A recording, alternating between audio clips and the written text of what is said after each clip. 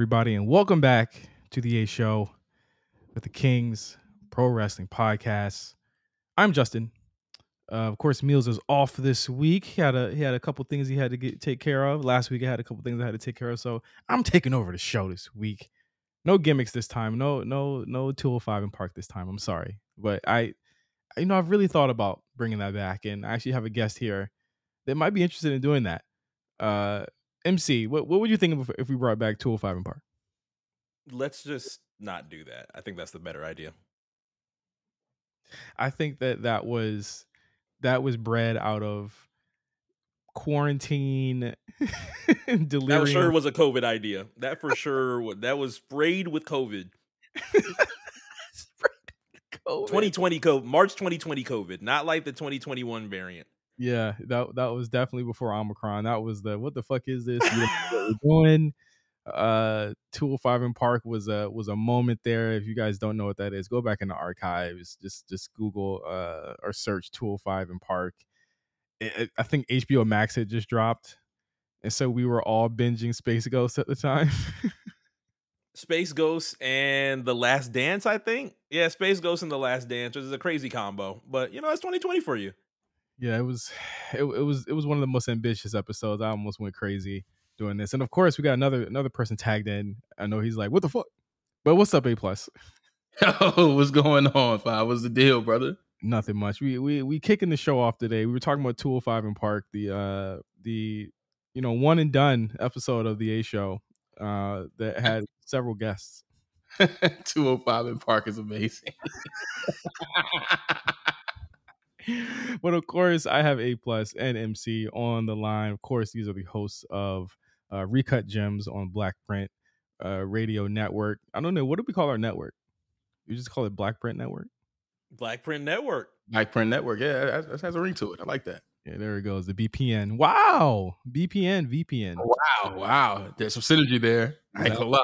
exactly, exactly. Listen, man, I'm glad A plus is on the line right now because have you watched Bad Boys Texas? The this latest episode. What? I have not, but I have a funny story to tell. As I'm leaving out of birthday bash in Atlanta this past Saturday, we're walking down the street, right? And there's like a what do you want to call it? I guess like an ice cream truck kind of set up. And on the side of it, it says the right way. And there's Jonathan Wright Oh no! plastered on the side of it. But it gets better. The, the woman I work with, my coworkers, they they identify immediately who it is.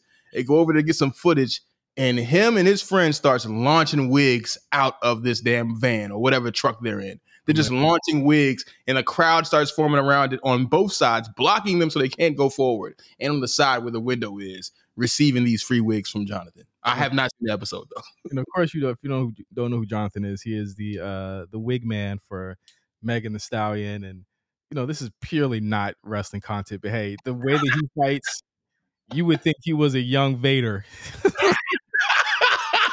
he is 90, 93 Big Van Vader. Yeah, the way listen, look up Jonathan fights on Bad Boys and you'll see. Yeah, yes, MC. Listen, my- MC, you got to get on the Zeus shit, bro.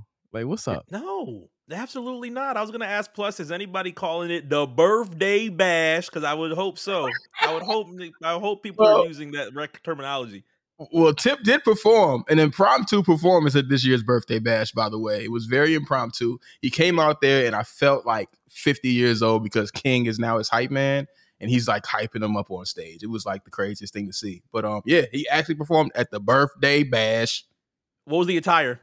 Um regular, very regular. Had a had a uh, you know, just regular cap on, fitted on. He has dreads now, so you know, just just regular like backstage. I'm chilling. Oh, y'all need me to perform? All right, come on, let's do it. What do, the, what- do the writers look like for like something like a birthday bash? Of course, if you don't know what that is, it's a huge performance in Atlanta. What what do the writers look like? The hospitality writers. it's funny you mentioned because there's like um a conversation that we had over the weekend about yo should you honor everything on here i mean it's it's almost short of asking for like blue m&ms like there's some artists who i will leave you know nameless who requested like 25 lamb chops like 60 Yeah. pieces of salmon like what do you think this is a steakhouse or something what the fuck are you doing here it's not that so it's almost like yeah we have to honor some of this like you know some things and other things, hey, we can get you can get that food from catering because it's there for y'all. Okay, I That call, had to be finesse. That had to be finesse two times. 60 salmons had to be finesse. I'm gonna shut up and not reveal, but I'm just gonna say that was a real request on the rider. I caught wind of a writer that I just saw on on Twitter right here. I'm gonna, I'm going to name the items and I want you guys to guess what the writer is. Okay. One bottle of Clase Azul, two bottles of Don uh, Don Julio uh, or 1942, Okay. uh, 12 cans of Red Bull, case of Fiji water, chilled, dressing room and on stage. Stop One- right there, Jey Uso. No, Shit. uh, one case of Coca Cola, orange juice, apple juice, assorted fruit platter. This is where it gets tricky. Popeyes, box of legs, box mixed with legs, wings, breast, white and dark meat, biscuits, mac and cheese, mashed potatoes, and gravy and fries. Handheld Oh. electric fan, Vaseline cocoa butter gel, degree deodorant spray, women's, 12 black handheld towels, dressing room and on stage, three hookah flavors, blueberry and vanilla and blueberry and mint and watermelon club events, 50 buffalo wings mild into go boxes club event. to go box. Are you kidding me? Mm-hmm, mm-hmm. Who do you think that is? Oh my god. Um this is a demon, whoever this is, but uh Is it an artist? Yeah, it's an artist. oh my god, is this like is this offset? I mean, I don't, I don't try to think of who the hell this is. Is that your guess? Is that your guess? The chicken might throw the chicken might be throwing these off. That, that, It- might be the chicken. It's definitely the chicken. Yeah. Women's degree throwing me off. Um, I don't know.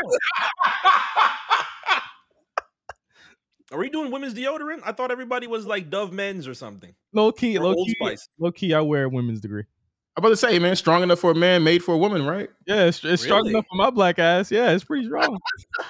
Okay, I was I was a Dove Men's guy. I, I it's um, not strong enough for niggas though. It's not strong enough for men. Dove is not strong enough for men. Degree women's with the powder, powder fresh. That's the Yeah. one.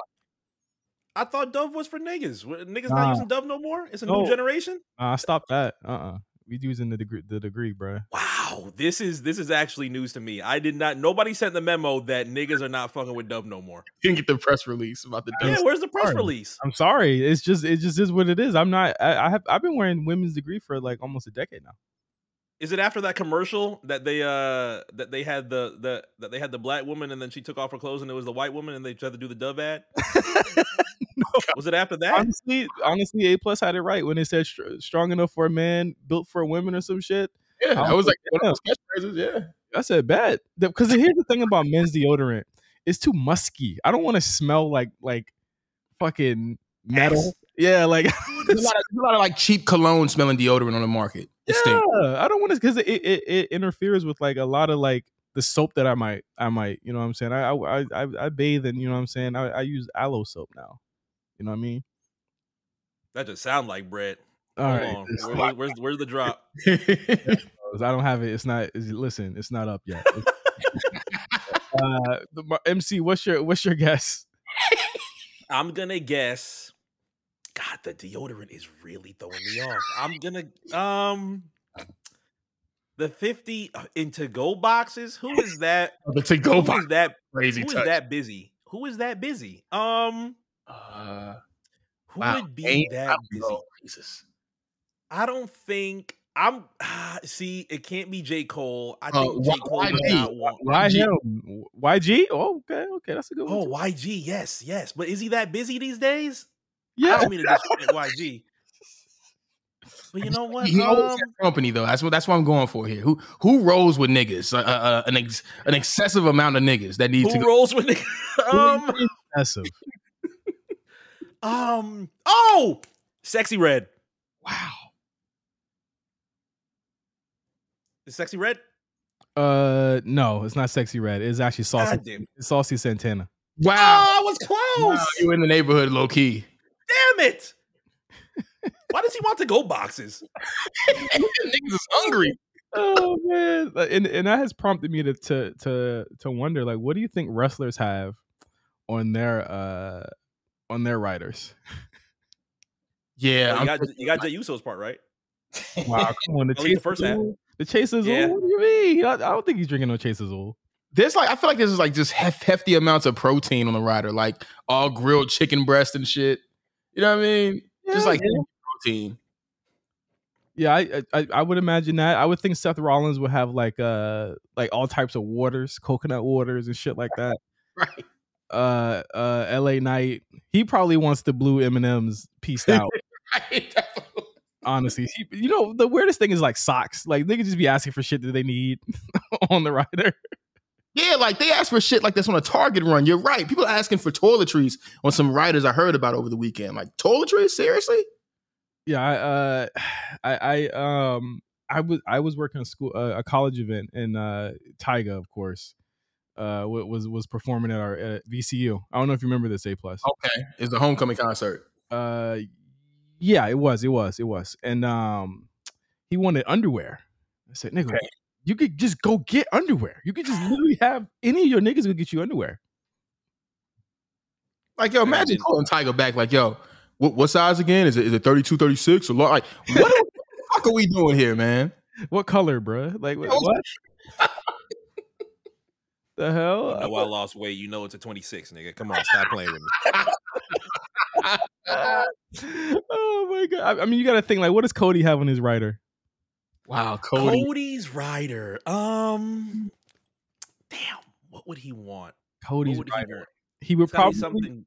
he would epic. probably want uh uh cherry bombs for sure, just so he could practice. Um, he would definitely need dog food because to bring you know for his dog and shit. Yep. Yep. uh I see he definitely needs some like protein powder or some shit like that. He's definitely doing that. Uh he wants an eagle. I would imagine he would want a bald eagle on his rider. Bald It's a eagle. ball I wish- eagle on a rider. That's hilarious. Bald eagle on the rider. Uh what else would Cody want on his rider? Uh, uh, more sequins for his cast, as we see this week. The, the cast has seemingly more sequins on it this week than it did last week. Um, but then we get Lapels. lapel, yes, that that too for Yes, for his, for his robe. Uh, I mean, let's let's get to the women too. What would like uh what would uh what would Mia Yim want on her rider? Wow. What does Mia Yim request? Uh, He wears a. She wears a blue bandana. It's blue, right? it's blue. He's crippin'. Okay. Just making sure. I was Like making what, sure. what what does Chelsea Green have on her rider, bro? Chelsea Green. Oh man. Yo, like you know what I mean? Like she's like, I read the uh forecast for Lafayette and it said uh the air is uh, unhealthy for sensitive groups, so I'm gonna get a humidifier. Oh my god, I, I really I really really liked the uh the and I, I'm bringing this up now because I'm probably gonna forget later that vignette that was about her this week. that was amazing, amazing. TikTok, that was great. I think that they really have a plan for her, and I I'm I'm all for what it is, and I think that this act is going to be pretty well served as a babyface. I really think it would be great if she was a babyface doing that to heels. I loved it. I loved every minute of it. I loved how how they mixed in some Taylor Swift stuff to keep it like you know realistic or whatnot. It, it was just great all the way around, in my opinion. Some of the voiceovers, the Yeah. uh, it was it was just oh man, it was just well put together. Yeah, scanning through scanning through TikTok actually did surprise me. I'm like, wow, we really are in a new generation because it could have just been Chelsea TikTok, then another Chelsea TikTok, then another Chelsea TikTok, but then they had like actual organic TikToks mixed in. Mhm. I was trying to see what the vision was there, but it was just like scrolling through a feed, and I'm like, wow, this really is 2023. Seriously, there was definitely a Gen Zer on the on the uh in the production team doing that because it was like they did the search and then they had all of the videos that were related. You notice like there were videos that were kind of related to you know TikTok will give you a couple that are related and one that's just like not at all just to kind of uh t- to give your your algorithm a gut check to see if you actually click into the actual account. But it was it was interesting how they did all of that and and again like I think she's looking way better than uh I mean Sonya Deville looked lost out there this week. poor Sonya. she looked lost against Kayden and uh and, and and what's her what's her face. I always get oh it's Katana. I hate I, Katana chance. I get That's that mixed up. I get that mixed up bad. bad name. It's a bad name. But Weird. That's it. but let's get into the into the wrestling here. Uh it's a pretty it's a pretty light week uh, for all things considered. Think about where we were last year, right? Last year we were deep at this point into Sasha Gate. We were maybe a month into Sasha Gate. And we were maybe no, we weren't. Were we? we Vince, uh, Stephanie had already stepped down a week, a, a year ago today, or a year ago at this at this point. She had, she had already stepped down. Yeah, we're in June. the beginning of the summer? It it was I was on my honeymoon when she stepped down. Oh wow. Yeah, it was that Saturday, I think. Or Friday. It was that Friday that she stepped down, I think. I, I don't He have was a- like, hey, y'all. He was like, hey, y'all got it. Y'all gonna have to figure this out for the summer. Summer Slam, that's on y'all. I'm gonna, I'm gonna just go ahead and hit back to the crib, chill out. because then the uh because what, what was the order of, the, of, of things that happened sasha leaves and then three weeks later uh no wait no no no yeah sasha leaves in the week after that because it was monday and then days after that stephanie stepped down right? I Yeah, because that- May nineteenth, she tweeted that she would take a leave of absence. yeah i was still on my honeymoon at that point um because we had got to because it was monday she left friday stephanie left and i was like what the fuck is going on in this company? And then yeah that, that is crazy. That is that is not that's nuts how, how much that happened like la- this time last year possibly the craziest time in this generation of wrestling right where it was like yo vince left stephanie left triple h is in charge of creative uh, they're gonna sell the company. Uh, brawl out happens, and now a year later, we're seeing the kind of like the the the out you know the outcome, the aftermath of all of this. And one of these aftermaths is um, CM Punk's return to wrestling last weekend at AEW's first show, Co- Collision, uh, Saturday at 8 p.m. Uh, on what's- it's on TNT, right? It's on TNT. Yep. Yep. Uh, so that that emanated from uh, the United Center, but of course before that you had the tease of a crazy interview that was supposed to come out with CM Punk talking about what happened and saying some not so nice things about Hangman Adam Page, which ended up being a lot more kind of flaccid than people were expecting. It wasn't it wasn't really juicy at all. It almost felt like the um, you know, certain members of the wrestling journalism community were trying to, you know, cut the legs off, so to speak, or get ahead of a story that wasn't really that much of a story, other than it's Phil saying things he means. And it's just like, oh God, prepare for, for it to be, quote, another one of those weeks in AEW. And it felt like it was like, okay, this is these are things he's pretty much just, you know, confirming we already thought he felt. So it really wasn't that much of a story. Yeah, and and and I mean it, it's I feel like they're trying to recapture the eyes and the engagement that they might have got on Brawl Out, right? Where it's like it, it, you get you had months and months of conversation about what happened, what's gonna happen. Is he coming back? Mm-hmm. Is he not coming back? Is he fired? Is he not fired? And then it's led us to this point here where, you know, almost a year later, CM Punk has finally returned. He has his own show with wrestlers that seemingly are ones that are cool with him and that want to work with him or work in the same locker room with him. And you still have a locker room that is divided. So going directly to AEW Collision, two hour show. I've heard lots of reviews about this and seen a lot of people talk about it. A lot of people saying it's restoring the feeling. Oh, please. It's up again. AEW might got something with this. And I'm like, I y'all gotta pump the brakes. Like I understand people want to see this company succeed. You have to give it a couple weeks. You really have to wait and see what the way that the, the, these people operate. I seen uh I seen a meme. Uh, I don't even know where I seen this meme. You know, I usually see the oddest memes. It was a Kevin Hart meme that said, "This is AEW collusion. We joke around this motherfucker. Take your sensitive ass back to Dynamite if you ain't feeling it." I'm like, wow, that is what the that is what the divide is here. I'm not really that tapped into AEW, so I'm like, wow, this is where I did not know that was a divide between the fans like this. It's crazy because AEW has done something that WWE tried to do back in the early 2000s, and that is create tribalism within their own uh within their own fan base. Yes. Mhm. Yes. and I think that what's what's happened here is that like W- WWE realized maybe that's not the smartest thing to do. Like is to have our fans act, actively rooting for like Raw or SmackDown to fail because in the end we got to make money with this shit. So maybe once a year we can have the fans pick. But I mean, ultimately a Survivor Series at these points, like none of us are choosing Team Raw or Team SmackDown. We're just choosing Team Best Story, right? Like we don't want we don't you know we don't really care about the the brand supremacy, but in storyline that's what it is. This is not a storyline. This is legitimate groups of, of fans that look at Collision as the real show and Dynamite as the falsified or false show. Whereas mm-hmm. if one of these shows fails, they all fail. You know what I mean? It's still the same company. So they they've done something that is insane. And I think Tony has to, Tony Khan has to really look at himself and and and I would say be careful, but it's too late. The you know, you can't put the the toothpaste back into the tube, so to speak, at this point, because he's actively allowed this type of shit to happen. and, and a couple things about Tony, right? Like if this is storytelling, then one, it's it's awful storytelling. Just just put that out there. It's piss poor storytelling to say that you know we're going to pull something from you know in real life, but we're not going to really address it head on.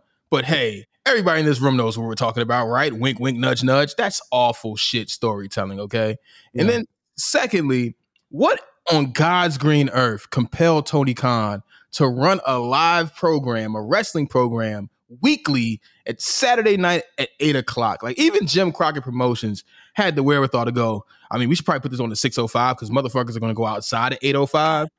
You know what I'm saying? Like that is insane to me in 2023 that he's going to probably have to rely on DVR watching live plus DVR ratings to really tell the true story about Collision. and it, and it's strange, right? Because of course you have the Saturday show, but you also have it running head to head potentially. Like they they're actually missing a bullet. They're they're they're dodging a bullet uh, on on July first because Money in the Bank is going to be uh, much earlier in the day, and Collision Yep. will be later in that day. So they're dodging a bullet there. But I think you know as it comes to like the Fastlane that just got announced for October, um, Payback is in September. All of those are going to be on Saturday. Those are going to be at the regular time, and yeah. you best believe SummerSlam, for example, and best believe they are going to be front loading and powering these shows with with big matchups that I just don't think AEW can compete with uh, outside of their actual body of, of of fans, which, as Marc pointed out, are now divided. So now you think their fans are going to be like, I don't fuck with Punk. I'm not watching Collision because they've told me not to fuck with Punk. And they've Yep. made it seem like I should not watch anything he's part of. So I'll go ahead and watch the WWE pay per view, or what, or, or better than that, I'll go outside. And then you have the same people on the collision side that'll say, "I'm not watching on Wednesday. F- fuck that. I'm not. I'm gonna do that." Because the thing is, is, is you two right? Is like, where are these fans going to funnel to? They're either gonna Mhm. stop watching altogether. Some of them might not go to WWE again. Some of them might go back to to WWE more than more than they did before. But Mhm. you're funneling these fans in all types of different ways. You're not hurting them like you should. Like the as, as much as you you know people want to talk shit about the universe part of the of, of of that company they've done that to create a brand where you're actually you're inside of the ecosystem and they make fans feel aspirational or a part of their brand marketing wise that's why they call it the universe that's why you're a part of the universe i do it for the universe they don't say the people they say the universe right that's part of that aspirational marketing where it's like you're part of that you're part of that meanwhile aew is feeding you oh, we're not going to tell you why CM Punk is off, but he's going to go on TV and call the call the EVPs of the company, con- uh, what what did he say? Counterfeit bucks, Yeah. Yep. counterfeit bucks, and it's it's insane that that that promo. I, I feel crazy watching that promo and seeing what he does, and I'm like, you know. they say that they say that he had to get that approved. Uh, plus, what do you feel about that? That's so interesting, right? It's like, you know, he's gonna take this jab. He's like, he's talking to Tony, and Tony, you know, he's probably telling Tony, you know, I gotta talk about him. There's no way I can go out there and not talk about him. And TK's probably nodding his head, like, yeah, you're right, you're right, you're right. So again, he's the guy who's fueling all this at the end of the day. The same man who could have kiboshed it is the same guy who's fueling it. And that is just insanity. yeah, it, it's it is him stoking the flames, him coming out at the beginning of the show. You've got all of Chicago saying "fuck the Bucks," and and again, guys, they have did? now they, they, they yes, they have now stoked the flames where the Bucks and the Elite are not going to be on Dynamite in Chicago this week. Yeah, they got pre-tapes, right? I've heard that they're, they're going to be a part of the show via pre-tapes, which is very interesting. You know, they were very confident coming back in when they knew he wasn't around, and they were, you know, telegraphing spots from the alleged brawl out and all that Yeah. crap. Now they're going to do pre-tapes. I mean, that, that is very interesting.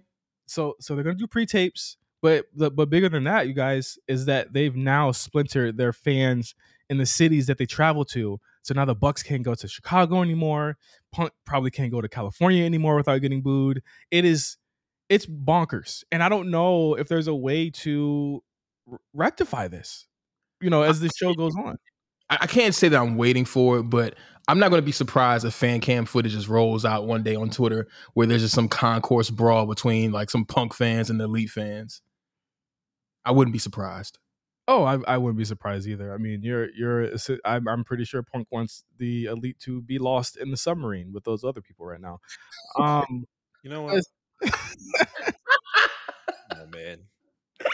but as far as the actual show of Collision on Saturday night, um, I, I've seen I've seen a lot of people again. These these are people that have, have not been on TV for a while. They haven't been featured correctly. or featured at all. In, in some cases, you you had a lot of people saying, you know, that it was a solid to to good to great show from a lot of people, and that's what you want to do for the first show of a new series, right? You they they have to do something like that. You know, when ratings notwithstanding, we don't know when when will those come out. Do you know? I believe it delayed just because of the holiday uh, yesterday, but I think we'll receive them later today. Okay. Because they had like some type of overnight number. I saw, don't know the source, but I saw it on like the For You tab, of course, on Twitter where all truth lies. But um, it was like 814. I think it was a fast national, which I don't know if that's correct or not, but I did say it, was, it would come in around 775. So that's kind of the neighborhood of what I'm thinking for the premiere episode. Is that a L knowing that that's kind of your ceiling? That is the ceiling. Eight, the 800 club is the AEW fan base, man. Like, is that a failure to you guys if it doesn't hit a million? um, I wouldn't. I wouldn't necessarily say a failure because I know that there's going to be a lot of fans that are going to try and stay away from the drama and be like, oh, well, we don't have to buy into the programming that they're giving us. Just watch it on Wednesday, watch it on Saturdays, and enjoy great wrestling. So I'm sure there's going to be fans that, you know, are not too invested in the numbers and just want to watch all the programs. For my interest, I actually am pretty curious to see how it goes down when Collision, let's say, gets its legs and becomes not even as popular, but maybe even more popular than Dynamite? Do they actually start going into areas of doing a official uh an unofficial draft? Do they start doing collision based shows? I know the shows between AEW are not monthly like they are within WWE, but would they ever start doing brand specific programs like how they did in 2003 and start doing things for collision and things for Dynamite? I guess it would only I guess time would only tell as this gets and ends up being a little more popular. I just think again the grounds this brown this quote unquote brand split is founded on is just like just terrible. I'm not trying to just just bag on AEW the whole time, but it's like you have Dynamite, which we would guess is the brand of the founders, the elite, and then you've got the Collision brand, which is just the people who are mad at me and won't come to work. Like that is just a crazy like brand split just on paper.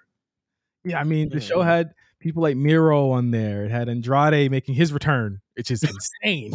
I think he's been gone that long, making his return. Uh, in, in a pretty well received match with uh, Buddy Mur- or Matthew. Sorry, don't want to get sued.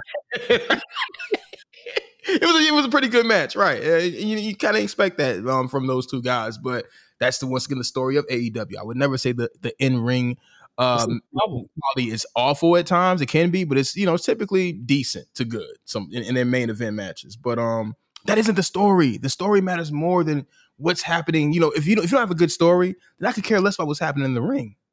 Simply put.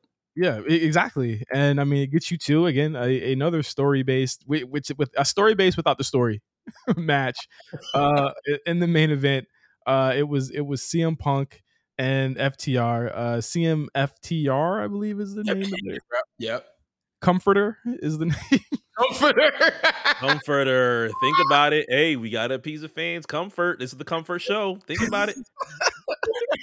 Comforter is Comforter. against against Bullet Club Gold and Samoa Joe. Thirty minute tag team match to end the show.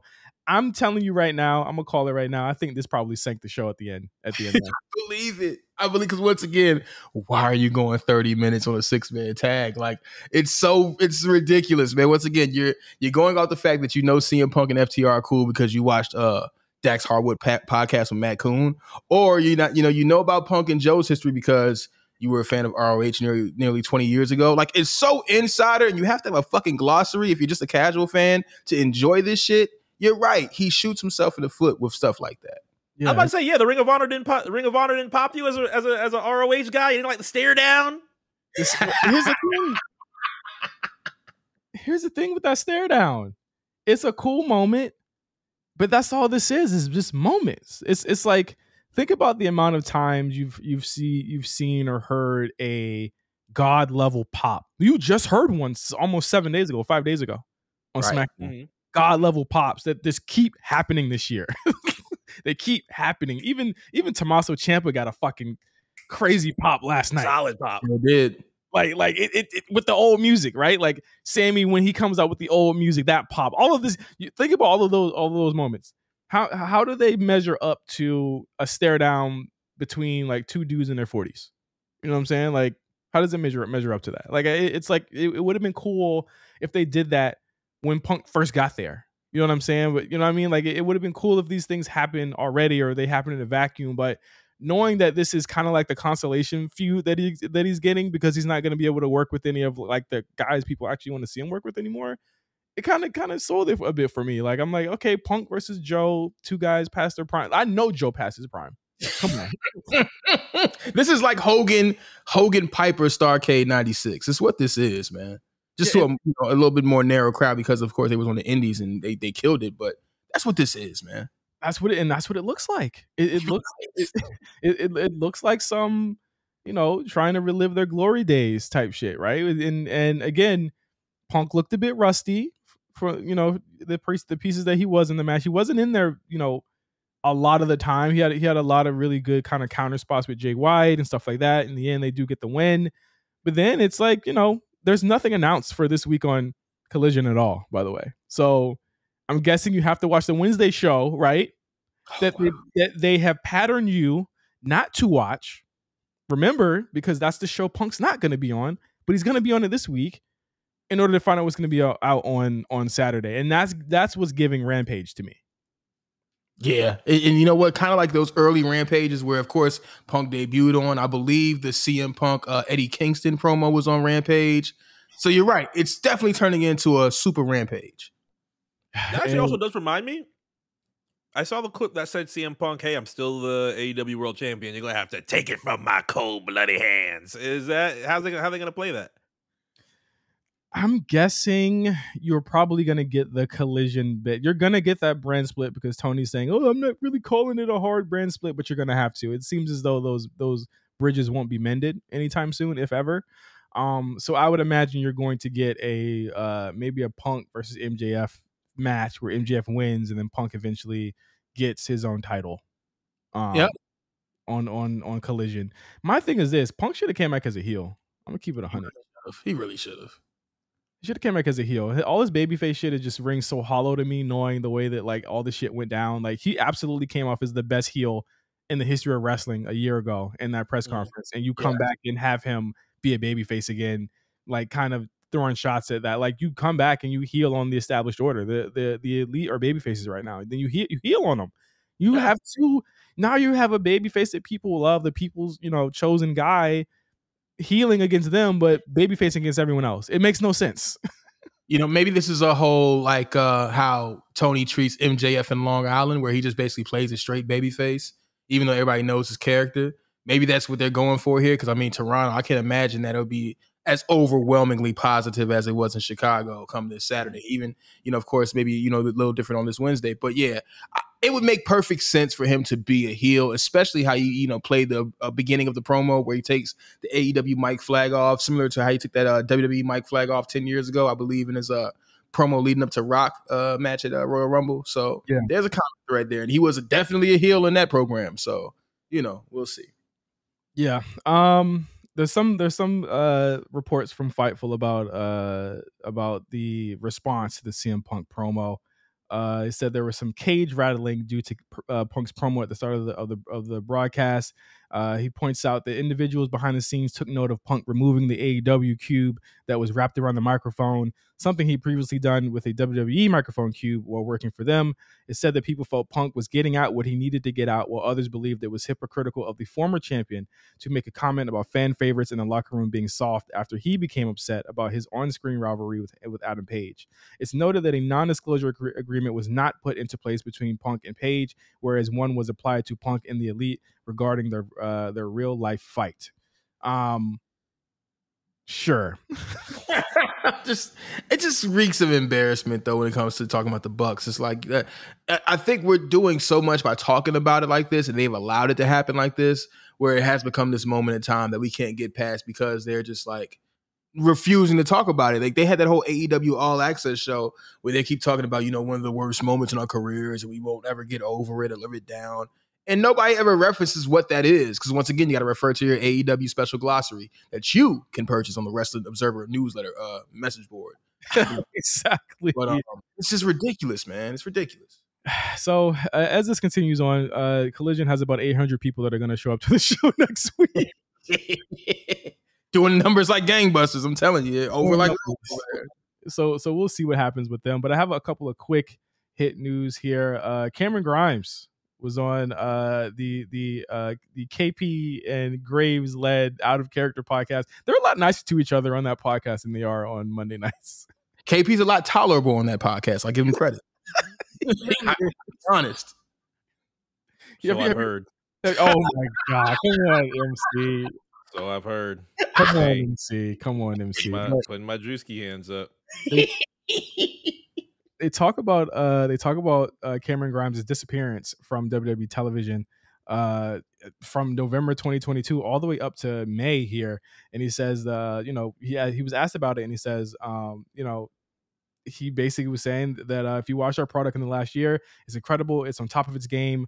Uh, but he said, you know, it would be insane to say, you know what, let's cut five minutes from the bloodline segment to establish Cameron Grimes. He says it was all it was all timing, and I definitely took down that down period and got in the best shape of my life. And uh, he said, you know, he he intends to uh, to keep it keep it where it is. Um, he says, I'm at the pinnacle now. I'm at the top. And he said, There's no higher. The only thing I could do is stay here and try to make the most out of it. And I've been questioning on the show for a while where the hell was Cameron Grimes at?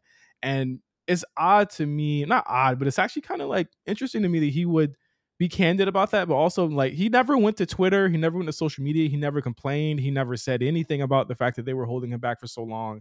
And I wonder if that actually bodes well for him in terms of like just being a company man and, and the way they're pushing him now. Yeah, it does speak volumes. You know, I mean, you, you, sometimes you see in that situation where you might want to start a grassroots campaign where it just isn't any time for you on the show, and if there is time for you on the show, will it even be substantial to where you could, you know, it could lead to something.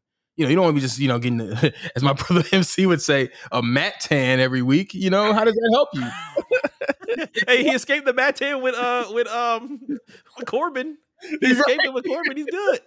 Yeah, he, he absolutely did. I and and again, like I I feel like they look at it's always like the test being in the E, right? It's, it's, it's always a test. It's always like, ah, you know, they're going to test you. And, and, you know, regardless of whether you think is right or not, I feel like in Cameron Grimes' case, I was like, I would have actually loved to see him on TV a lot earlier than the draft. I was fantastic. I was super happy when he got drafted uh, two months ago.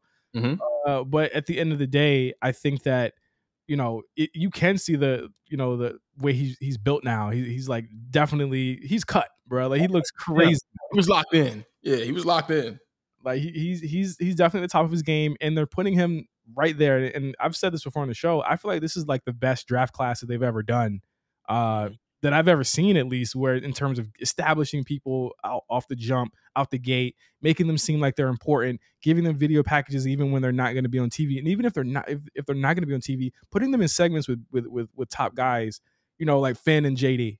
You know what I'm saying? Like, like it looks like they have something coming up with JD McDonagh, right? But they say, mm-hmm. you know, we're going to hold you off for now until it's time. And I think that that's what's important because Vince would just throw your ass out there to the to the wolves, and if you didn't get over, your ass is out.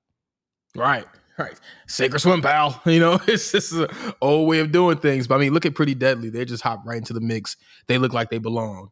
Um, I mean, everybody else they pretty much added on TV with regularity looks like they belong. So you're right. Even the free agent thing that didn't make sense on its face the days of the draft makes sense now. So I, I think they're doing a great job. And it's paying off. I mean, Baron Corbin is is they're trying to get him heat. right. I mean, hey, even Ali, Ali looks like a, a, way more credible person going back to NXT and kind of being a big mm-hmm. dog down there from week to week. Yeah, absolutely. So, um, let's get into SmackDown. Let's do it. From the Rupp Arena in Lexington, Kentucky, what a strange place to do this angle that they do on the show. Oh They're in Lafayette this upcoming Friday. I'm like, yo, what? Who is doing the booking these like these days? I, I have no clue, but I'm like, I, I get that they have to get this shit has to move because they have a pay per view in a couple of weeks. But God, they, they didn't deserve this. Ohio, Ohio didn't deserve Monday. Wow, I don't want no beef. I don't want no beef with the Kentuckians. Not that I'm going to be in Kentucky at any point in time soon, but Come on, you think they deserve this this this final angle that uh, that happened on this show? They've been in the heartland for weeks now, fam. Were they just like in Wichita last week? Wichita, Kansas. I will say this. I will say this. I'm glad that nobody picked up on what they were doing in Wichita. I'm glad no one picked up on that and they they kind of left that as its own anomaly of, of that night. But um SmackDown this week, I thought it was a good show. I thought both shows this week were were great to fit great good to great shows this week. Um, SmackDown opened with a tag team gauntlet match. Uh, a bunch of a bunch of uh, geeks versus people that they're trying to push. it was a little mix there. It was a mix. Uh, LWO geeks, OC geeks. Wow. Uh, uh, shit row versus the brawling brutes and pretty deadly. So that was pretty much your teams, So right? two out of five there. That's right. Two out of five. Exactly. Uh, you had you had the you had the bros, the the the banger bros, the bang bros, uh, looking looking dominant for about twenty minutes until Pretty Deadly came in and did what they what, what, what they're doing. What do you guys think about the Pretty Deadly push? Uh, that, that, that that has been happening for the past three weeks. We we've all said that they've been main roster ready, but God, they they seem to be putting the rocket straight to them and, and, and blasting them off. I enjoy it, man. I think it puts off some people, uh, especially the podcasting community. One one Jim Cornette maybe may not be able to see the uh, value in Pretty Deadly because of how they uh, appear to look, maybe. But um, no, I think I've, I've watched some bits and pieces in NXT, and I've always been impressed with their work in the ring, and it's paying off. Like you said, they are really getting the strong vote of confidence from creative right now. Absolutely. Uh, what do you think, MC? Especially for those that you know are big fans of 2000s tag teams i know that there were tweets that have said that this reminds people of like a little bit more of a flamboyant edge and christian you know Yeah. those things are Yeah. i would say those things are pretty appropriate not to say that th- these are going to end up being the bigger solo solo careers just like how edge and christian had but you know from a tag team perspective they do have that type of synergy that you would have expected from those early 2000s tag teams so i think that's what draws a lot of people that do want to watch this tag team wrestling and trying to have those moments that they did have back in those um, early Attitude Era days. So I think Pretty Deadly has been doing well with that. And for the most part, I would say those that watched Pretty Deadly and enjoyed Pretty Deadly kind of saw these glimpses being able to come out in NXT. You just wanted to see it in a bigger stage, like how it is on Friday Night SmackDown. Absolutely. And now they have a match at, at the O2 against the undisputed tag team champions KO and Sami Zayn. This this got banger all over it, bro. This got show stealer all actually all over it because it's it, it's a big stage. We know what Pretty Deadly's capable of. We know what Sami and KO are capable of. This this could be this could be really good, guys. I'm looking forward to it. Like you said, I think. Do you think this may be something that opens the show? I think you open with the money in the bank, honestly, bro. Yeah, yeah, yeah. Uh, it's it's their first time at the, it's their first time doing this pay per view out of you know out of the states, and then you just open you you crack it open with the Money in the Bank, open it with the women's one. I, I think the positioning of these Money in the Bank matches are going to be are going to be quite telling too, right? Where it's like what's going to go first, and how is that going to play into the rest of the night? Because you know the men usually don't cash in the same night, the women do. So will they continue that trend, or will they will they let it chill for that night?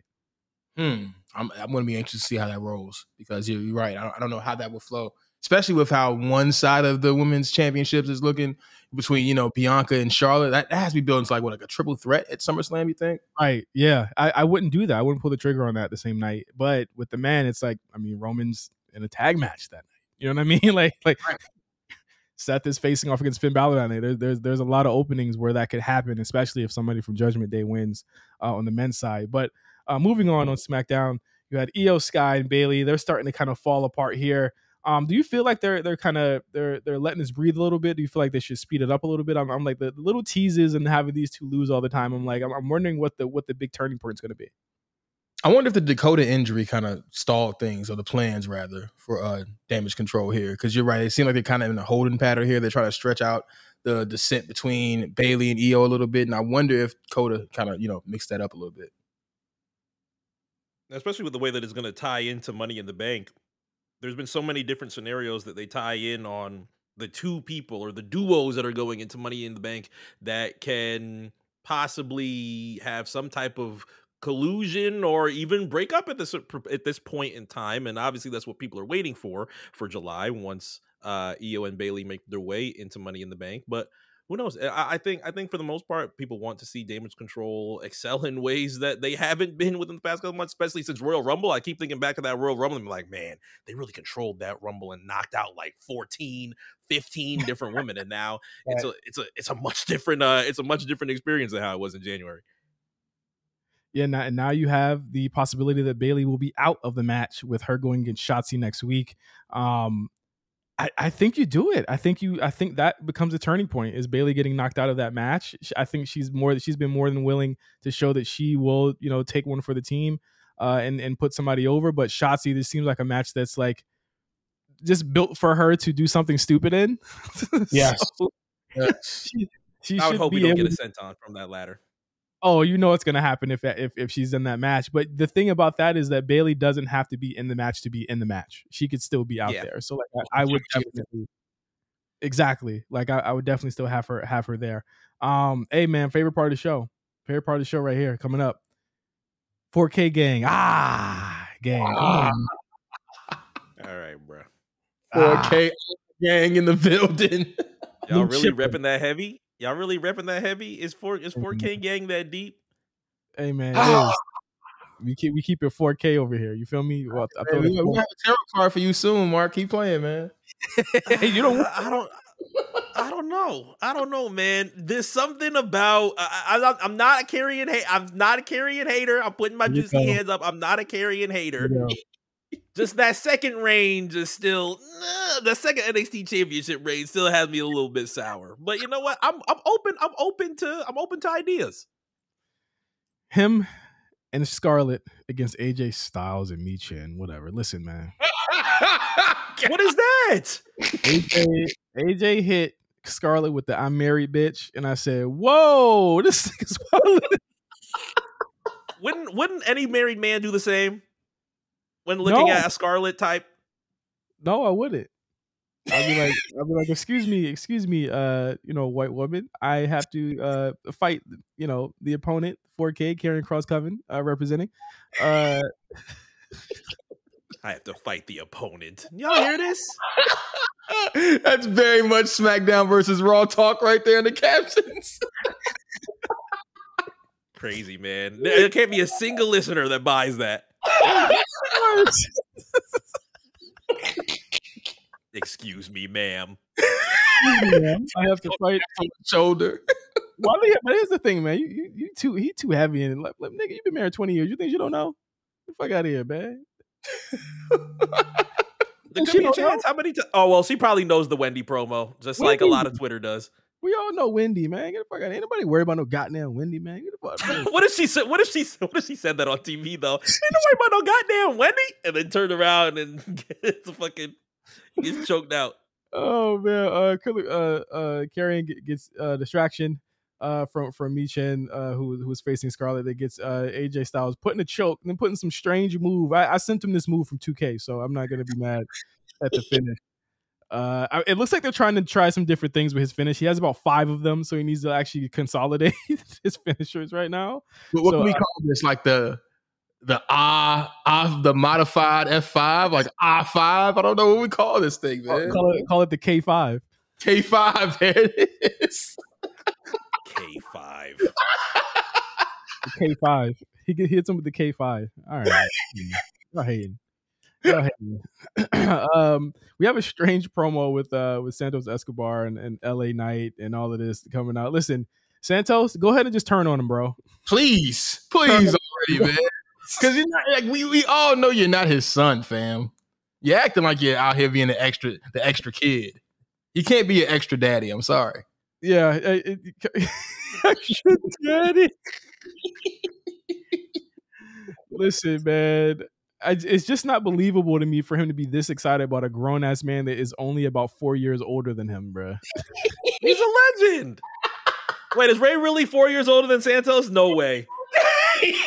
No way. Listen, Santos is in his forties, bruh. I'm about to hit the courts on this. Let's Jesus Christ, 39. He's in his 40s, bro. He's 39. Yes. Oh, Rage 48. Okay. Oh, phew. I was about to say, don't tell me you were 21 watching WCW Santos. I would have looked at you differently. Halloween Havoc, you were Halloween Havoc. You were getting a car. You were getting a car and getting right. The- let- the- don't let me find that out, Santos. Listen, man. He, it's it's just not believable for him to be this goddamn excited about Rey goddamn Mysterio, man. Just turn on him already. Please. Just just take the L's and be like, Rey, man, you ain't never helped us do shit. Maybe Dominik was right, and then just fucking fuck his ass up. But then that gets people the heel LWO that they want. I'll give us lucha suits back. Though. I want the legato theme. Yeah, man. Look good. Look. Well, the one thing about this episode of SmackDown is that a lot of things were truncated because of the 20 minute segment at the end of the show. Gotta save some for the bloodline. Everything, I think the longest match obviously was the gauntlet, Uh, and listen, man, the it, it, it was like I saw somebody say that Pretty Deadly was a comedy team, and I gotta say that I didn't agree with it. I saw a review that said that you spent 20 plus minutes and then ended up putting the comedy team over, and I'm like, ah, these niggas actually working. They're not really comedy teams winning off accidents. Yeah, I mean, I mean, this isn't exactly too too cool. I'm sorry, this is not too cool. Yeah, like uh, okay, but um, we get to the the the main uh the the main uh storyline here. Will Jey fall in line, or what's the subtitle all night long? Right, that's like the name of this episode. Will Jey fall in line? the decision here. So um uh Roman comes out, Jey comes out as well. He says, you know, you know, basically uh he, he tells Kentucky that to acknowledge him. He's, and he, then he says, uh, you know, Ray, Ray, you know, not, not Ray, Jey, he wants people to, to answer, but Jey says it's either him or Paul Heyman. And I, and I, the psychology of this, I want to ask you guys about because I'm still a little bit foggy about what the psychology here is. Was Jey playing a long game, putting Heyman in the sights to Yeah. gaslight Roman? I, I, I want to say yes because I was just talking to someone about uh I was just talking to somebody about this yesterday. How you know there still isn't something that's firmed up with you know did Paul put Brock in Cody's way to keep him away from Roman? Like and if Roman finds that out he'll be pissed right? We, we would think like he wouldn't want that because he's an alpha male. I don't need nobody to be in my way to keep nobody Right. away from me. So I think maybe he is playing the long game here. So um he comes out and says it's either him or Paul Heyman, and Ray and, and Roman says, "Hey, like when you're a tribal chief, you could pick your own wise man, but this is my wise man." And I I think that's key there to Jey's decision. Also, is that you're picking someone who's not family over me, the same way you got mad at me for picking Sami over Jimmy or Sami over or Solo a, a couple months ago, right? That that was the big thing is that you're picking people that aren't family over you, the same way that that, that you pick Sami over me. You never pick me as the person or as or as the guy. And he also says here, you you're you know when it's time, it's not time for you to be tribal chief yet. So Jimmy comes out. Uh, Ray uh, Roman says, you know, it took them ten years to get the Usos to WrestleMania, which was green as fuck. yeah dog, he keeps one of those doesn't he he keeps one of those Jeez. Hey, that- hey, but that's our man's though. Hey, think about it. That's our man's. I just want people to realize that's our man's. But the way he says, he said it took y'all ten years to even get there. Whenever he gets in his bag or he talks to niggas like that, I'm like, all right, you gotta you gotta chill. That's green as Yeah, fuck. it's getting dark. It's getting Yeah. dark. Uh Reigns calls Jimmy the anchor and, and Roman is the wings who rises who, who makes everyone rise up and he says Jey can't be a tribal chief and a twin at the same time but he says remember one thing the only person who had a problem with Jey becoming the right hand man was Jimmy himself now this is where I got confused here was Jimmy and Jey in on this you think Uh, You know what part of it? because I'm confused as to why. Okay, so he said so. Jimmy Jimmy says he had a problem with being the right hand man. We all know this because when he came back, we knew he had a problem with it, right? What made Jey's rant about him being, you know, Mister Mister most likely to succeed, Mister Mister Play of the game, oh, Mister Mr. Mr. Mr. Mr. Prom King. Mister Mister Prom Prince, Mister Prom King. Oh, whoa, whoa. Joshua.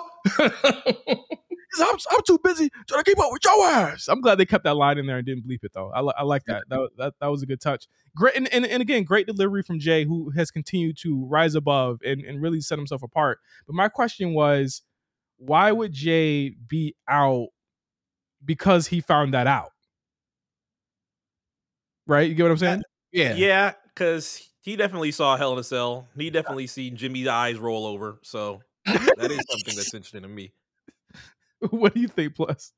I, I just I don't know why you know he would like you said like I, after all this this is it you know I, I don't know you know I I kind of saw where we were going here but yeah I, I don't know Jimmy Jimmy wasn't gonna come out and say yeah I was in your way nigga I don't Yeah. want you Verbatim. That's my thing. no, verbatim they would roll early into the 10 o'clock news on every Fox They, uh, it would be Fox and Friends commercials for two minutes until the until the news came on. Nigga, what you thought it was, nigga? now, now the ten o'clock news with That would have had that would have had uh, Murdoch rubbing his chin like, damn it, Ooh, Ooh, dangerous. my airwaves hmm, more should be on there. But I, I, you know, it's it's a minor quibble, but it's a quibble that I think could be explained if explained. right? Where it's like, what about it made him to, and maybe somebody who's listening, maybe somebody on Discord can can we can have a conversation about it. I don't know if you guys had a conversation about it the night it happened, but he has this rant. And I'm I was wondering, I was trying to put two and two together with the rant that comes before the kick, where he says, you know, I've been trying to keep up with you my whole life. I get, I, and here's my thing: I get that he chose his brother. I get that he chose family because Roman wasn't going to choose family, and that he's been manipulated, and everyone's been telling him all this stuff. But I don't get the rant about him not kind of um kind of rectifying or, or talking about what Jimmy's decision to because Jimmy didn't seem like he was in on it at all on the decision. Right. So I, I I'm wondering like what what about like he you know he he's he's he's he's keeping on his big brother, but he says you know what if you're out I'm out too. I just felt like it was like I feel like somebody said time to go home. That's what Yeah, I feel like. That's what I'm about to say. Like it felt like yes, everything was about getting to we we got the the final go home line. We've got that already put in etched in the stone. It's like what are we going to do to get there? I And think. He was up I- against. Yeah, I think he got lost because as soon as the kick happens, it's it's turbo from there because they got to get to the end of the show. But that Mhm. was my thought was that I think somebody told him, somebody whispered or somebody said something in only uh, in only a way that he could have known that hey, it's time for us to go home. We're running out of time. You can't be ranting this long because I would imagine that he would get to you never you didn't believe I could be this, but I did and you and you let me have that moment. You let me have the moments and you shared them with me and you never complained about it when it was time. Because I think that's really where he was trying to go to. But he he was like, "Yo, uh, we got to get to the end." So maybe they'll explain that. It was my minor quibble with it, but I think this is one of the. It's it's tough, right, y'all? Like, how many of these segments can we say are top five segments in WWE history? Yeah, I mean, just I, I just keep every time I see a segment like this involving the Usos, I just think of where they started and where they are now. And um, I saw that uh, Bully Ray, uh, you know, made a made a statement that he feels, in his opinion, that the Usos are the greatest tag team in WWE history, and I'm kind of inclined to agree with him at this point. You know, which is something I never thought I'd see myself doing, say, ten years ago, which is a credit to everybody involved in the storyline. And honestly speaking, I know it's tough. No, it's absolutely tough to do so. Gotta retire the WrestleMania theme. I'm ah, sorry, guys. Fucking sucks, man. I will agree with Bully Ray. The Usos. I'm I'm not sure about the, but by far have regained their title back in my personal record book of one of the best tag teams of all time. Just just putting it out there. They've made the decision that I need to see. That that's all. I, I hey, I can't. Then hey, when it's time for Ro- Roman to, to to get that Matt Tan, I can't. I'm gonna have you on the show so we could talk about this ring. There's Hey, I gotta see the I gotta see the Matt Tan first. He's still he's still homing to me. Hey, but Jimmy and Jey, Jimmy and Jey have their proper names back down since day one. I'm not putting the ones up. I'm not doing that. I'm not doing the sideways So one. that's their thing. though. they're the true ones. They're saying Yeah. They're the true ones. Ah, no, no, this- I'm sorry, they're they're the real ones. I'm sorry, they're the real ones. That's their. That's It's their still new it's still got the stench on it. I'm sorry. It's still got the stench on it. let's see this. Let's see the let's see the merch first. So uh this sets up this sets up J, uh, Jey kicking Roman and then them both giving him double super kicks. They kicked uh Holo's face off. And Yes. then the show the show ends from there. Roman has a really great moment after the show ends. Obviously, they ran out of time still because probably because of the ranting of Jey, which went on way too long. Um, I, I'm willing. I, I'm- I'm willing to say that that that that part probably didn't make sense because they had to go home. They probably had to end the show really quick. I'm, I'm, I'm Imagine the more I'm thinking about it, I'm thinking that's probably why it didn't make sense. imagine the show ended on the "You deserve it" of just like panning out and the whole Yeah. crowd just chanting "You deserve it" at Roman, and he's on his knees like, "Man, Yeah. mate." Yeah, I mean, you, but it's great digital content. It's just it's extra eyes on that. It's, it's extra it's extra view. So now we have the Bloodline Civil War at Money in the Bank. The Usos versus Roman and Solo.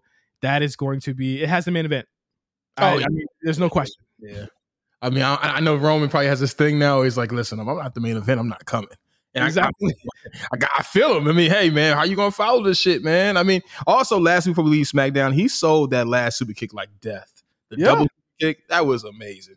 and then Gotta doing, give credit, Mark. He sold that shit like death, man. I mean, shit, he had to. He took two boots to the nose. His dog ass. That's that's why he had to, that's why he had to drop. doing the jaw. His his jaw cell is like always my favorite. Where it's like it's always whenever when he, remember when he sold the the the, the Claymore and it looked Yeah. like he, he had to go get jaw surgery. I was like, yo, he's selling the shit out of this Claymore, bro. Him and Brock are like top two sellers of all time. But um, that is to me penciled. That match is probably penciled in to be the main event of um of Money in the Bank. But let's move on to Raw. Big return on Raw at the top of the show here. Tommaso. Do you mean do you mean Raw or do you mean Ra-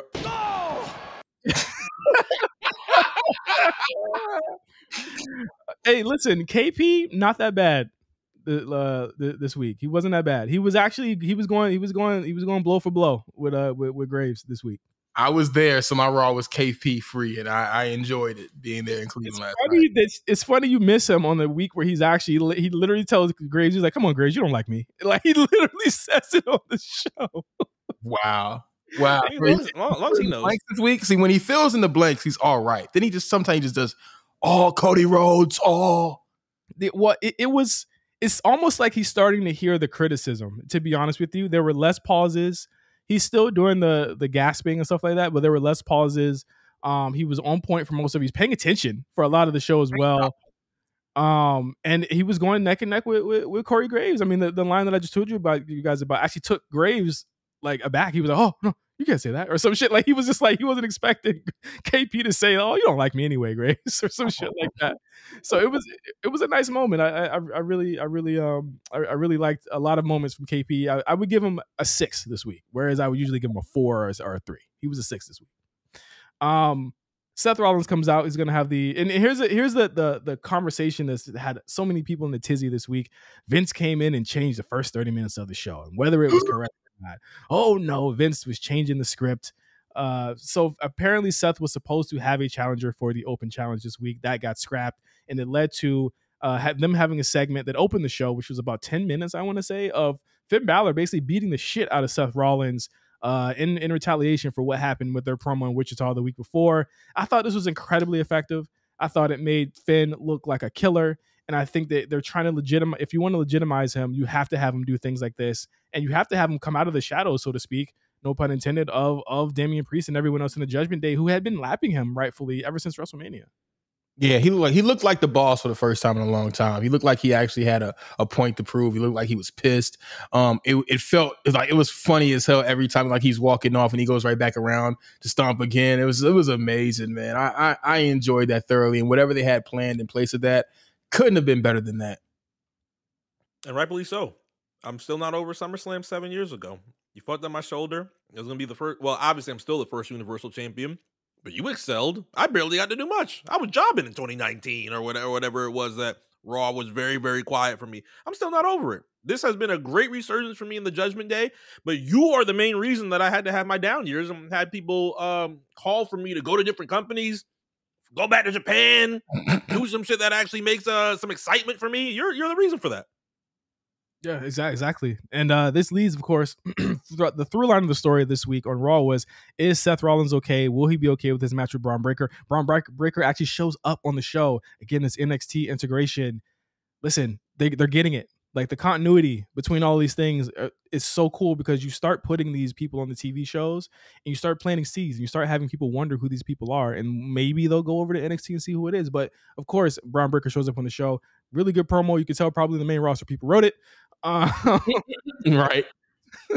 um, and of course, uh, Seth Rollins says he will be at NXT uh, to face Bron Breakker this week at Gold Rush, the, the first of two events. Um, and they're and they're rolling. I, I think it's going to be a really interesting match to do. But you also you you're you're giving Seth some adversity in this match against. I mean, essentially, what is a developmental talent uh, on NXT, and you're giving Bron an advantage. And there's gonna have a they're gonna have a better match out of this because Seth won't be able to just kind of squash him fully 100 percent healthy. This is like Ric Flair coming to the territory back in the 80s, right? Where he's beating, where he's going against the top guy in the territory. So I I enjoy like how this whole thing has been set up. And I'm looking forward to tonight and see how that goes. Absolutely. Um, but of course, not not without uh the big return, of course, being uh Tommaso Ciampa. Um, he comes out to face the Miz, beats him in four minutes. I mean, it is what it is. But I'm gonna tell you right now, Miz is not H at all. Miz is winless in 2023. We are halfway through the year, folks. He's he's so not H. And listen, it's time for him to give back. Oh, oh, hashtag Miz gives back is in full effect right now. yeah, I mean, it, it's time to give back. Um, Tommaso looks great. He looks fantastic. Hopefully, he he'll have a, a cleaner bill of health. I think what we're looking for here now is probably the way coming back with uh, Indi looking like she's probably close to being a full strength pretty soon. Um, and and Johnny Gargano back now. He's supposed he was advertised for this week, but he was left off the show. Um, what what are we seeing here? Are, are, we hearing he's supposed to go heel? What, what, what do you think, you guys? Well, I think there was a digital exclusive with Ciampa um, where he ends it on, you know, if you want to do something, you got to do it yourself. So it kind of speaks to me as if, yeah, they're reuniting DIY and maybe they're going heel. Because if you were not going heel, then maybe you want to have Gargano in front of his hometown crowd. Because the same kind of situation happened last year when I was in Cleveland. And we all thought Gargano was going to appear, you know, in Cleveland. But that actually happened in Toronto a few weeks later. So Mm-hmm. granted, he was still a face at that time. But I think now they kept him off of his hometown show because they want to turn him heel. And that wasn't going to happen here in Cleveland. Do you think that all the way turns heel? Obviously, they were heel in NXT when they had Theory with them. Theory's not going to be with them this time, but do you think all of them, like Candice, I would love to see Poison Pixie back. Obviously, Indi would also follow suit because they would be a great tag team if they do go the tag team route with Candice and Indi once again. But it would be full heel, right? Not just DIY going heel and Candice and and uh Indi going, well, well, I'm not so fully there just yet. Yeah, because have- Dexter needs to be a heel, man. I I don't get Dexter as a as a face anyway. Yeah, it- it- you definitely have to do that. That's a huge faction too. But I, I would, I shudder to think that you'd have to kind of, you'd have to break the Judgment Day up a bit, and and that leads me to my next point. Finn and Damian are not seeing eye to eye, and it's clear that they're not seeing eye to eye, and that's another through line of the story uh, on Raw this week. The, the, fucking Judgment Day are like all over this show. Every single hour they're on they're on this show. Um, Finn cuts a promo. Uh, he says that you know basically he's he's gonna he it- you know this is his show, and he says that uh he he he said the fans are gonna love to sing that song so much they're gonna sing it at, his, at Seth's funeral. God damn. Uh and and and Dominik completely whiffs a promo asking for a six man tag match, and that was their promo. Those Ohio boos were different, though. I will say, like he he, it was hard for him to get a get bearing on that. Like they were killing him on that on that uh on that on that segment. But later on the show, Finn and Finn says that him and Damian are they're all right, and I'm like, yeah, JD has to join this group, right? Yeah, because even that may plant some more, you know, seeds of doubt within the JD. So I, I can see that addition. It's an easy addition too. I wonder who would get booted in between Finn and Damian though, because obviously all of us love the amount of praise and love that Damian has got since Backlash. Obviously, miles, miles ahead of what anybody could have expected a couple years ago, and especially when he was United States champion. And right now, people are more than interested to seeing World Heavyweight Gold on Damian Priest. But there's got to be the way that you get there, obviously. But I wonder who would be kicked out of the Judgment Day Edge style between Finn or Damian. It's Damian. It's Damian. It's Yeah. time. It, they they've invested a lot in him. I think they saw what he did in the main event at Backlash, and they like that. Um, he has been a project for this company for the last two years, uh, and well, shit, longer than that, three years. Yeah. Uh, Yeah. he's been a project for this company for a long time. It's time to get that return on investment.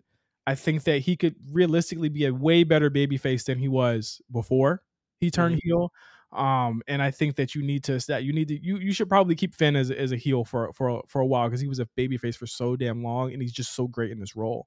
Um, I would turn Damian here if if they choose to do that.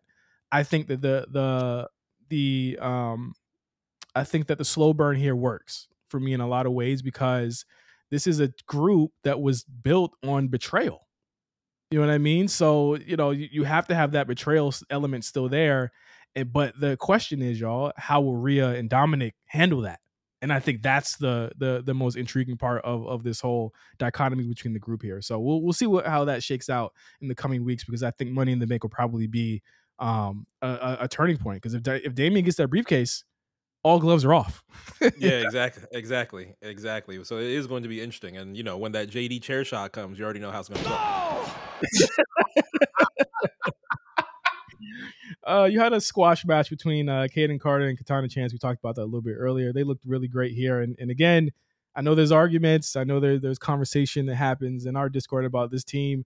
They are fulfilling a role that has been needed for the tag division for the women. If they're going to try and build it up, get them some wins, make them look strong, put them in, in situations to succeed. I think they got a good reaction last night. I think Cleveland was kind of fucking with the offense. Let's see. Let's see where it goes. Um, I'm skipping past this end of sheer part because I'm pretty sure A plus went to the bathroom. Please, Jinder Mahal looks like Berry Gordy. Jinder Mahal looks like a Saks fashion consultant. Jinder Mahal looks like I don't know, man. He looks uh, he looks like a somebody said contestant on The Bachelor Indy, last night in the chat, and I and I agree. Why can't he get uh, his four pins off? Why can't he get his fits off? Nah, fuck that. He- I, am I'm done. I, I'm already like, when is the India P- PLE so we can get this over with? Like, like when is it? I'm, I'm tapping my fucking watch right now. When is the India PLE, bro? Like, it, let's just get it over with, bro. Like, just put me on my misery here. Uh, we get the Logan Paul segment. Of course, as everyone guessed, he is going to be in Money in the Bank. That's big money right there, having Logan Paul in the O2. Um, and I mean, you know, he talks about Cleveland being terrible and how he's going to be a winner. Is there a world where Logan Paul gets the Money in the Bank check briefcase? Oh, but why I- didn't he earn? Why didn't he do the qualifier? I Oh, almost, I mean, feel like, man, I almost he's feel in like you, he's fine. I almost feel like you got to do it. I almost feel like you got to give him the briefcase. you got to give it to because think about the opportunities. Think think of the possibilities. You know what I mean? He's making all these major appearances, briefcase in tow. I, I, I think you got to do it. So I think you have to pull the trigger. And also, it doesn't become an overbearing presence on television where you're always wondering, oh God, what are they going to do with this damn briefcase? Because if you Yeah. put that on LA Knight, it becomes an albatross. And I love LA Knight, but seriously, let's be honest. Come on. yeah, I mean, you you have you have him disappear off TV for two three months. He pops up with the briefcase. You, it's not a, it's not a David Arquette moment. It's so I'm so is. willing to say that. I'm willing to say that. It's not. David a Arquette did the buckshot lariat. Fuck him. Yeah, it, it it it's it's not that type of moment. It is a moment that I feel like he he can go, but I feel like he needs to start facing more people that are you know that that are that are better or or of the same level of of, of Seth Rollins. You know what I'm saying? And sure. Yeah. I, I think that whoever beats Logan Paul with a championship, and, and again, they are stressing that you can go for any championship. They're not just, they're saying a champion, not the WWE champion or the undisputed champion. They're saying a championship. He could go for any championship, yeah. essentially. And hey, I mean, we saw last year with, with Austin Theory, he he wanted to he wanted to go for the U.S. title, and that made people mad. So, I, but I mean, you know, I, I think that whoever beats a Logan Paul, you you make him that shit eating heel that you know doesn't show up every single week, but you have to chase him. You have him show up on his podcast and beat him up and make him accept the match or something like that. Like you can do some really cool shit with him, and that's why I think that the briefcase should probably go to him. To be honest. So what you're saying is he's cashing in on Gunther. Big call. Big call. Wow. You want to make the internet mad? That would be crazy. you don't you, you don't want a baby you don't want a baby face uh you don't want a baby face Gunner though. But Gunther, yeah. but, but, um you could do it to theory and that's how you, you know what I'm saying? You, you could do you could do the theory and then that opens up the the possibilities and you put Logan on SmackDown which is already star heavy. It's a heavy show with stars and you know he he could, he could be on Friday night. So that's my thought right now. Right now I'm thinking you know what I'm saying? Like that's what I'm thinking Logan Paul right now. Um, you got Matt Riddle versus Ludwig Kaiser. I love, I, I like the match a lot. Um, I like the. This is why Gunther has like the lackeys in his in his uh crew because you need people that can be beat instead of of of Gunther. yes. Yes.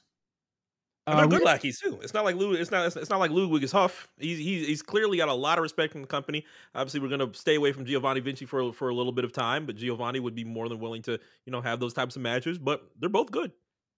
I'm, I'm thinking Giovanni's probably really injured though. I'm, I'm thinking he's. he's probably- is he? I think he's actually injured. I'm, I'm pretty sure he is. Oh, I thought you said like he was in active duty in like Italy or something. I didn't know where he was like at for a second.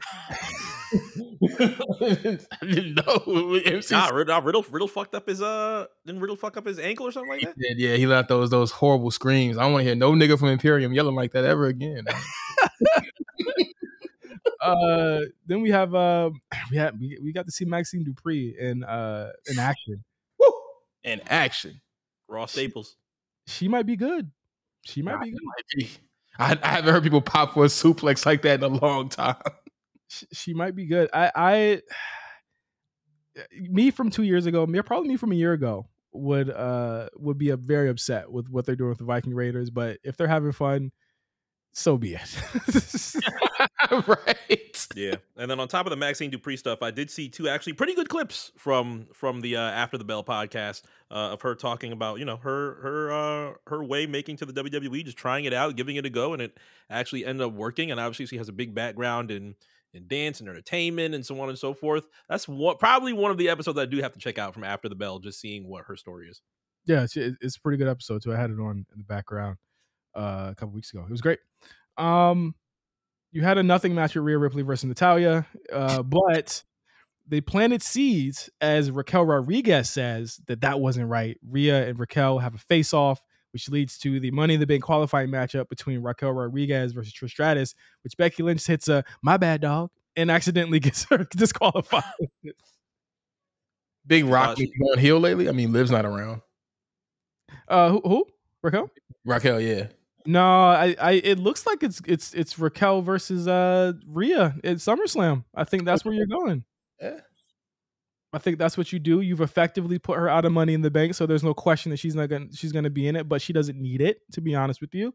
Um, you have her without her tag team partner, and you're kind of restarting her again as a singles.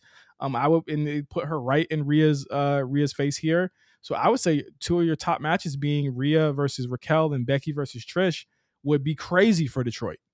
Oh, for sure. I mean, I just think there'll be like an inverse as Rhea will be cheered crazy. You know, Raquel should bring up the fact that you know she was she wanted to win the Royal Rumble in her hometown, but you know Rhea stole that from her. So yeah, for sure. That. And not for nothing, she was beating Trish's ass on Monday. I was Man. like, damn, watch her neck. Rag, ragdolling Trish, and that's when I said, "Oh, Trish is probably gonna come out come out on top of this somehow." Because she was ragdolling Trish ass. It's working for me though. Trish's yeah. run here is really working for me, and I'm enjoying it.